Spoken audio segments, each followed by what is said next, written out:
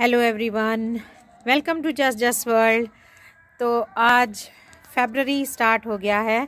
तो आज थोड़ी सी हार्वेस्टिंग थोड़ा सा मेरा गार्डन का ओवरव्यू सो so, सबसे पहले थोड़ी सी मटर की हार्वेस्टिंग मटर देखिए एक ही प्लांट पे कितने कितने सारे लगे हैं। खूब इसमें अच्छे से मटर और कई पॉड्स में ये मटर बन भी गए हैं।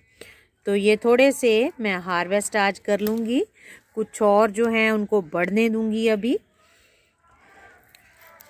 तो ये मटर जो हैं, ये सब्ज़ी तो बना, इनकी अच्छी बनेगी ही, लेकिन अगर आप इनको कच्चे भी खाएँगे तो ये बहुत मीठे हैं। इनका टेस्ट क्योंकि ये ऑर्गेनिकली उगाए हैं, इनमें कोई भी रासायनिक खाद केमिकल खाद इसमें नहीं डाली, कोई भी पेस्टिसाइड का इस पर स्प्रे नहीं हुआ तो इनका टेस्ट बहुत ही अमेजिंग होता है। तो इतने मटर मैंने हार्वेस्ट कर लिए हैं। अभी ये गोभी हार्वेस्ट कर लेते हैं।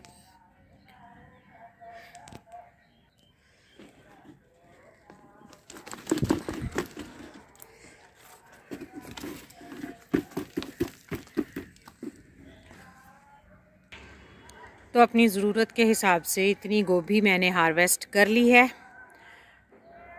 मैं पहले भी चार बार गोभी की हार्वेस्टिंग कर चुकी हूँ और मैंने आपके साथ शेयर भी किया था। तो दो तीन फूल गोभी के अभी मैंने छोड़ दिए हैं तो ये मैं दो एक दिन में हार्वेस्ट कर लूँगी इनको भी। क्योंकि गोभी को तभी हार्वेस्ट कर लेना चाहिए जब उसका फूल इस तरह से इंटैक्ट हो। और अगर आप लेट हो जाएँगे तो वो इस तरह से बिखरने लगेगा और थोड़ा हार्ड हो जाएगा। इसके साथ ही मैं ये एक मूली भी हार्वेस्ट कर लेती हूँ।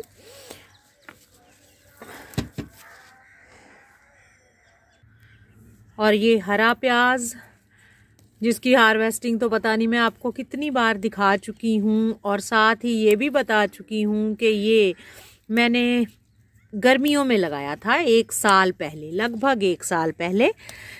तो अप्रैल में मेरे ख्याल से मैंने ये लगाया था और अब फिर से दो महीने बाद अप्रैल आने वाला है। तो ये छोटे छोटे प्याज मैंने लगाए थे किचन में से ही और उस पर से मुझे सारा साल ये ग्रीन लीव्स इस तरह से मिलते रहे हैं।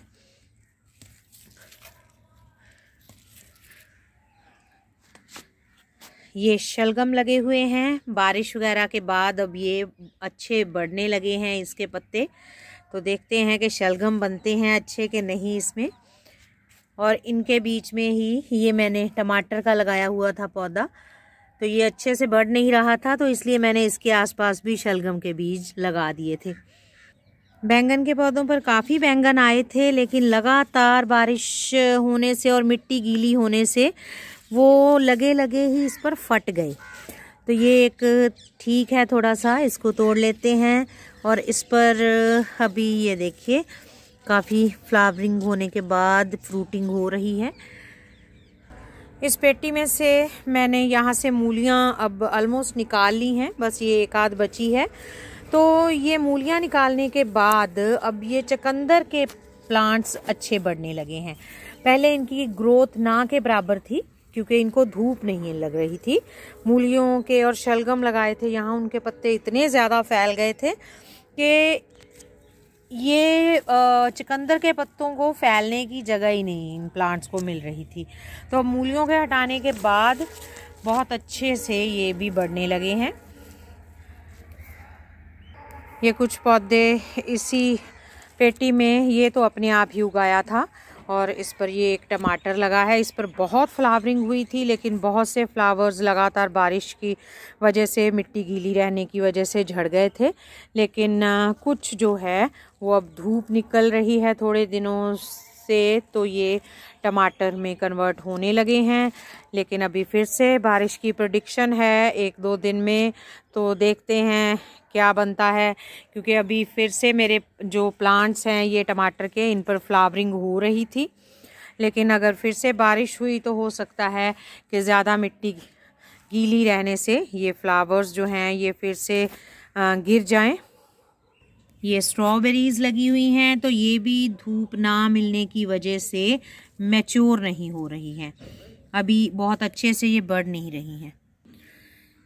ये येलो स्क्वैश के फीमेल फ्लावर्स ये बढ़ तो रहे हैं, लेकिन अभी तक ये खिले नहीं हैं। तो ये भी शायद यही वजह है कि धूप इनको नहीं मिली। पिछले एक महीने से एक महीने में लगभग 25 दिन के करीब तो या तो बारिश रही या धूप नहीं निकली, बस बादल छाए रहे। तो धूप मुश्किल से चार पाँच दिन निकली है, वो भी किसी दिन दो घंटे। सो एक दो दिन ही है जब पूरे दिन की धूप इनको मिली है। इस तरफ़ जो टमाटर के पौधे लगे हैं, इन पर भी फिर से बहुत खूब फ्लावरिंग हुई है। तो ये भी देखते हैं कि ये टमाटर में कन्वर्ट होते हैं या बारिश की वजह से फिर से गिर जाते हैं, इस तरफ़ भी टमाटर है। और ये भी, ये चेरी टमाटर के प्लांट्स हैं। इन पर ये पहले, टमाटर बने हैं कुछ, और अभी इन पर फ्लावरिंग हो रही है, यहाँ भी लगे हुए हैं। ये देखिए, ये तो गुच्छे में आए हुए हैं, ये चेरी टमाटर। और इसमें भी, इस पौधे में भी इसी तरह से और ये जो है, ये अलग वैरायटी है टमाटर की। तो इसमें तो ये एक तो काफ़ी बड़ा साइज़ है टमाटर का। और लेकिन हैरानी की बात है कि इस पौधे पर ये जो एक और साथ में टमाटर है, इसकी उस तरह से शेप नहीं आई है, जैसी कि इस टमाटर की शेप है। और ये अलग वैरायटी के टमाटर हैं। कुछ टमाटर के पौधे यहाँ भी लगे हैं। सो थोड़ी सी धूप मिलने के बाद ये अब आ, लाल होने लगे हैं और ये एक और अलग किस्म का टमाटर का पौधा लगा हुआ है। तो ये शायद बेल के आकार का है ये गिर रहा है ये देखिए। ये वेट की वजह से। तो इसलिए ये जो टमाटर के पौधे हैं इनकी स्टेकिंग बहुत ज़रूरी होती है। इनको सहारा देना बहुत ज़रूरी होता है। नहीं तो ये टमाटर जब इस पर फ्रूटिंग होती है तो प्लांट्स गिर जाते हैं और टूट जाते हैं। ये मेथी भी बहुत अच्छे से हो रही है और ये धनिया है तो इसमें इसकी भी मैं हार्वेस्टिंग आज कर लूँगी थोड़ी सी और ये प्याज बढ़ रहे हैं बहुत अच्छे से, इसमें भी धनिया लगाया था। तो ये जो आप इसमें होल्स देख रहे हैं तो इसमें ज़्यादा बारिश की वजह से पानी भर गया था। तो फिर मैंने एक स्टिक लेकर तो इसमें इस तरह से होल कर दिए तो पानी निकल गया इसमें से और धनिया बच गया। नहीं तो ये सारा धनिया ख़राब हो जाता। सो so, इसमें भी मटर के कुछ और पौधे लगे हैं। इन पर अभी फ्लावरिंग अरे यार ये देखिए शुरू हो गई है इस पर भी। तो धूप निकलेगी तो खूब फ्लावरिंग इस पर भी होगी और फ्रूटिंग भी होपफुली। और वो उस ये टमाटर के पौधे यहाँ लगे हैं और उस तरफ़ जो आप न को पीछे नज़र आ रहे हैं वो सब आलू के प्लांट्स हैं। आलू लगाए हुए हैं। सो so, इन बोरियों में भी मैंने ये मूलियाँ लगाई हुई हैं। कुछ बीज पहले लगाए थे तो वो अब उसमें शायद मूली बनना शुरू हो गई हो और कुछ मैंने बीज बाद में डाले थे तो वो भी जर्मिनेट हो गए हैं बारिश की वजह से। यहाँ पर गाजर लगी हुई है। गाजर को बनने में थोड़ा टाइम लगता है। और ये है बंद गोभी, पर्पल वाली और हरे वाली। तो देखते हैं इसमें फूल बनता है कि नहीं, क्योंकि थोड़ा सा इसमें शेप आने लगी है अब फूल की। यहाँ भी पर्पल वाली गोभी लगी हुई है। बंद गोभी या पत्ता गोभी जिसको बोलते हैं। और इसमें भी मूलियाँ हैं और ये गाजर लगी हुई है और ये ब्रोकली है। उस तरफ़ भी ब्रोकली के कुछ प्लांट्स लगे हुए हैं, ये जो छोटे वाले ग्रो बैग्स हैं इनमें।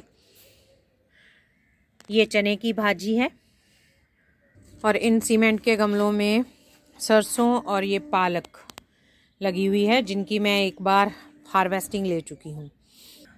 अब दो दिन धूप निकली है तो ये देखिए, पुदीना भी अब थोड़ा आगे से बेटर होने लगा है। वीडियो लंबा हो रहा है तो आज के लिए इतना ही। वीडियो अच्छा लगा हो तो इसे लाइक कर दें और अपने दोस्त मित्रों के साथ शेयर कर दें और चैनल को सब्सक्राइब ज़रूर कर दें और अगर कुछ भी क्वेरी है या वीडियो में कुछ अच्छा लगा है या नहीं लगा तो कमेंट में अपनी राय ज़रूर दें।